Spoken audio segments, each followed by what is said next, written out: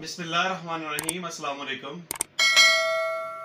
आज के टॉपिक पे हम ये डिस्कस करेंगे कि जानशीनी सर्टिफिकेट किस तरह हासिल किया जा सकता है।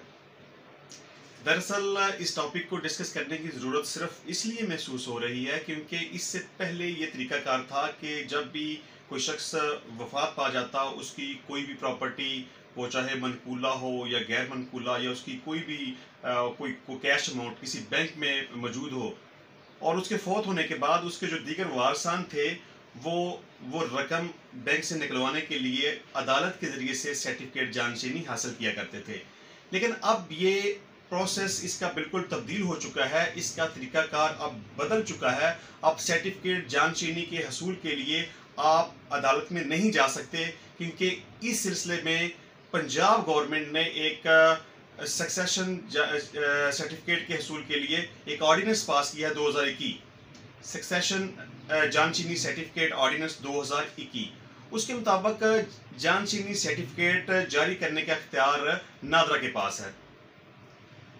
क्योंकि नादरा के ऑफ़िस में एक सोलर सेंटर कैम्प किया जाएगा, वहाँ पे एक वो कंसर्न अथॉरिटी वहाँ पे अपना काउंटर लगाएगी और किसी भी शख्स का कोई भी इस हवाले से कोई मैटर होगा, मिसाल के तौर पे अगर कोई शख्स वफात पा जाता है और उसकी कोई भी प्रॉपर्टी वो मनकूला या गैर मनकूला या उसकी कोई भी कैश अमाउंट वो बैंक के अंदर मौजूद है तो इस सिलसिले में उसको उसके वारसान को सर्टिफिकेट जानशीनी दरकार होगा।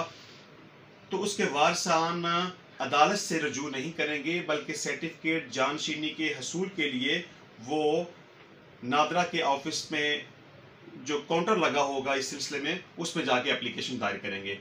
वो अपनी एप्लीकेशन के साथ मरने वाले का डेथ सर्टिफिकेट अटैच करेंगे, उसकी जो भी प्रॉपर्टी है, उसकी डिस्क्रिप्शन उसके साथ अटैच करेंगे, जो लीगल हेयर्स हैं, उनके आईडी कार्ड की कॉपी साथ अटैच करेंगे और इसमें वो कंसर्न अथॉरिटी इसमें चौदह दिन के अंदर अंदर अगर कोई ऑब्जेक्शन इस हवाले से नहीं आता तो सक्सेशन सर्टिफिकेट जानचीनी जारी कर देगी।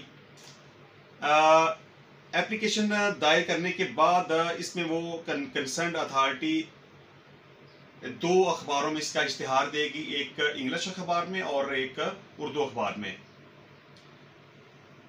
और बायोमेट्रिक तस्दीक के बाद सर्टिफिकेट जानशीनी जारी कर दिया जाएगा। अगर किसी वजह से कोई कॉम्प्लिकेशन पैदा हो जाए और नादरा सर्टिफिकेट जानशीनी जारी ना करे तो या मुकर्रा मुद्दत के अंदर जानशीनी जारी ना किया जाए तो फिर जानशीनी सर्टिफिकेट के हसूल के लिए मुतलका अदालत से रजू किया जा सकता है। बहुत शुक्रिया।